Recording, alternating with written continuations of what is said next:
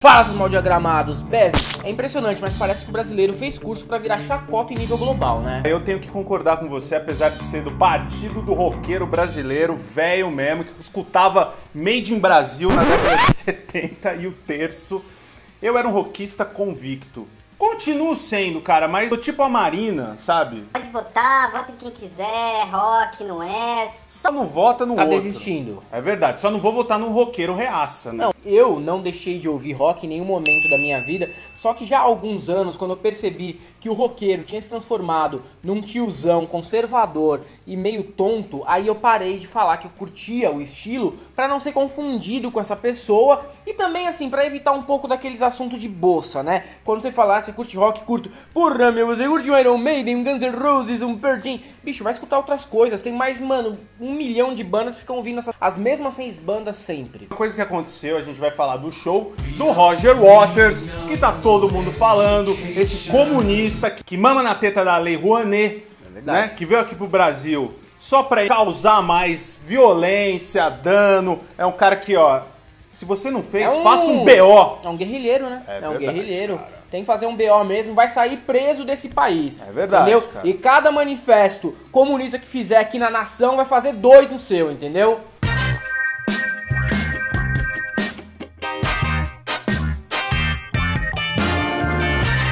O que a gente pode falar de um cara que a vida inteira foi ativista, a vida inteira escreveu músicas onde existia ali é, críticas sociais foda, e a galera que ouviu o cara há 50 anos não percebeu isso. A gente chega no momento que a gente nota que o brasileiro conseguiu algo único no mundo, que é ser analfabeto em dois idiomas, né? Isso mesmo.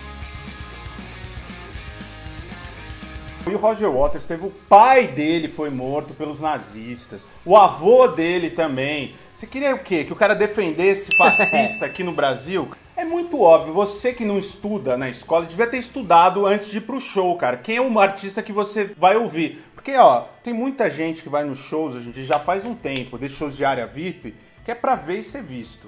É, assim, e porque assim, às vezes o cara já cansou de ver novela, de ver futebol no pay-per-view, aí ele fala, nossa, hoje vai ter um showzinho aqui, só 800 reais, amor, vamos lá. Quem é? Não sei, o tal de Rogerinho Águas, aí eles vão, tá ligado? Porque é do lado da casa deles na Pompeia, daí os caras chegam lá, vê, tipo, que o, o maluco, na verdade, é um comunista do diabo e ficam bravos, né? E vão embora e falam que vão fazer BO contra o Roger Waters, é impressionante. Para um show de rock, não vim aqui pra partido.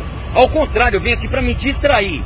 Aí o cara pega e levanta a bandeira. É um puta de um filho da puta, É velho. mesmo, cara, é isso aí, cara. Tá vivo aí, É isso aí mesmo, é isso aí Pô, mesmo. nada a ver, cara. Esse cara tinha que ser preso daqui, pô, incitando violência. Não, além de não conhecer o Roger Águas, Rogerinho Águas, a pessoa também não conhece o que, que foi o rock no nascedouro dele ali, de uma música que contestava o sistema, o establishment.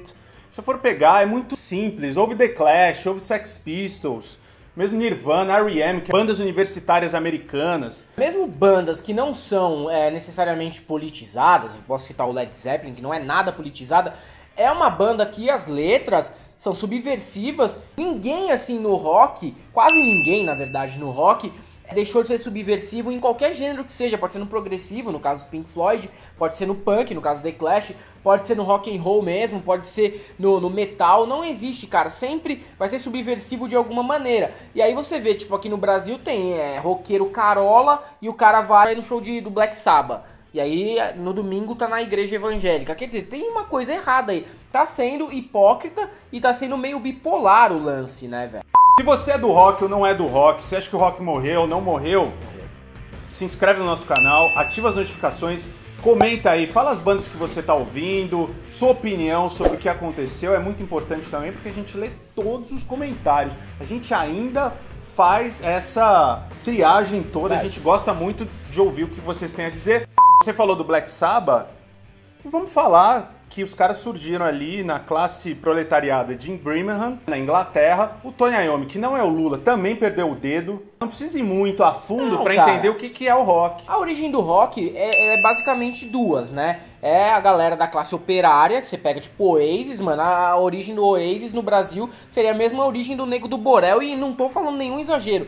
Ou uma origem de elite intelectual, que faz escola de artes, principalmente anos 60 e 70. Não tem ninguém, mano, que surgiu do partido fascista ou do partido de direita ultraliberal. Só se for, mano, num caso de banda Oi ou banda neonazi, né, cara? E teve umas reações engraçadas num, de uns caras filmando Meu Deus. depois do show, e aí a gente percebe quanto que o Hermes e Renato era visionário, porque todos, mas todos soam como o Bolsa. É, verdade, impressionante cara. como os caras sacaram o paulistano médio coxinha, né, cara? Meu primeiro show de rock, meu primeiro show de rock, eu nunca tinha vindo antes. E vem agora pra ver o cara falar pra mim contra ou a favor de quem quer que seja de político. Vai se foder, caralho. Acho que um dos caras mais emblemáticos nesse caso foi Rogério Schecker, que foi candidato a governador pelo Partido Novo em São Paulo, que fez um tweet reclamando, falando: Não, já se viu, eu quero ir num show simplesmente pra me divertir. Aí o cara vem com comunismo, aqui não, não sei o que. É muito engraçado, por que, a gente pensa quando a gente pensa num, num candidato do Partido Novo, né? Exatamente isso, um Thiago Leifert da vida, e o Thiago Leifert é um dos caras que falam: Não, não se pode misturar arte com política, verdade, esporte com esporte com política. política. E a gente viu de novo esse papo. Vocês tiveram sorte do YouTube não estar em turnê agora, cara. Porque você acha o que, que ia acontecer com o YouTube aqui? Iam começar a desenterrar as fotos do Bono com o Lula e iam ficar muito bravos. Falar, não, faz show em Curitiba, faz show na cela da PF lá. bobear, pra ele ter ia, viu? ladrão. Eu acho que sim, mano. Era capaz de ele visitar, do jeito que eles são meio brother, mano. Mas eu fico me perguntando, cara, será que esses caras não perceberam que toda forma de amor do Lulu Santos é sobre você transar com quem quiser? Ou que, por exemplo, exagerado do Cazuza fala sobre cocaína e Daniel na Cova dos Leões do Legião Urbana fala sobre chupar uma rola? Aquele gosto amargo do teu corpo ficou na minha boca por mais tempo. O que eu falei, pode não ser politizado, mas é contestador, é subversivo. Esse é o rock. O rock, a partir do momento que ele ficou domesticado e virou música, de trilha sonora de evento corporativo, comercial de remédio pra disfunção erétil, aí que ele começou a ganhar esse povo, cara. E esse povo que não tem nada a ver com o rock, que na verdade pensa que é um estilo que não tem uma, uma história de contestação, mas sim tem. A pessoa não pode ouvir se ela não concorda? Pode ouvir. Mas ela tem que ter em mente o que significa a letra para não passar essa vergonha. Daqui a pouco você, que tá desempregado, poderia formar um curso de tipo, entenda a letra da sua banda preferida antes de ir pro show. É verdade, é uma boa. ó, Empreendedorismo, Empreendedorismo aqui, aqui, cara. Você acha que a gente é só comunista? Não, a gente é empreendedor também. Esse cara que apareceu no vídeo que a gente mostrou com a camiseta do Iron Maiden, que é uma das minhas bandas favoritas, aí, mas realmente veste o estereótipo do cara coxinha que não sabe o que tá falando e ele diz assim: não, não é porque é de um partido ou de outro, é porque ele falou de sobre política. Até parece, né, Não, cara? e aí ver fica- se o cara tivesse apoiado o Bolsonaro lá, se o cara não ia estar Não, assim, ia, legal, Roger Water, demais. Não, ia que ter, uma, ia ter uma ereção na área VIP, né? Eu sei que o Bruce Dickinson era a favor do Brexit, cara. Isso assim doeu muito no meu coração, que era para a Terra se tornou um estado independente fora da União Europeia, né? Isso aconteceu, eu sei, fiquei triste. Continuo gostando da banda muito. Mas fiquei um pouco decepcionado, né? É, eu vou ter que falar uma coisa que vai te doer, mas o cara legal da banda é Steve Harris, né? Não amo Steve Que é o Harris. beberrão, um cara que entende um pouco da história do próprio país, já que eles nasceram todos no pós-guerra e eles sabem o que é passar necessidade, sabem o que é passar fome. E é, né, uma banda que já teve até a Margaret Thatcher sendo é, ameaçada pelo Ed numa capa de disco. E não dá pra dizer que os caras não entendem de história. Bruce Dickinson que é o cara que pilota avião, é, quase foi esgrimista olímpico, é professor de história.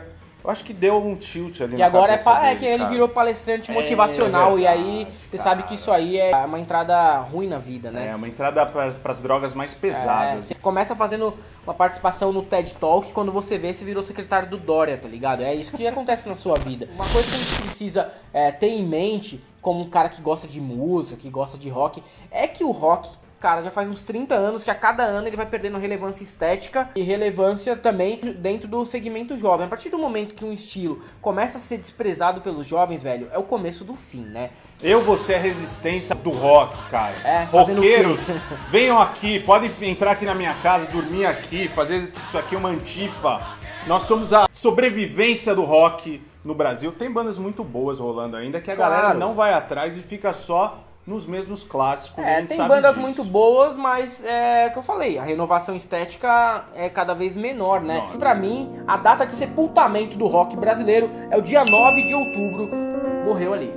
Morreu o menino rock and roll com os bolsas da Pompeia que ficaram incomodados com o show do Roger Waters, um cara que sempre foi ativista, e eles que fizeram um cursinho na cultura inglesa, só aprenderam como comprar no outlet em Miami e não interpretar texto, se fuderam. Perderam 800 reais, podiam ter ficado em casa de pijaminha assistindo Segundo Sol. Bom, Helder, aqui, tá indo pro velório agora? Eu vou pro velório do rock e, pelo que eu entendi aqui, vai tocar Gustavo Lima. Cara, eu ainda acredito pelo rock, os Antifa, que estão a favor do rock ainda. E o rock do Silvio Santos também tava internado esses dias. O negócio tá difícil pra vocês. E pra todos vocês que passaram vergonha no show do Roger Waters, Não passarão.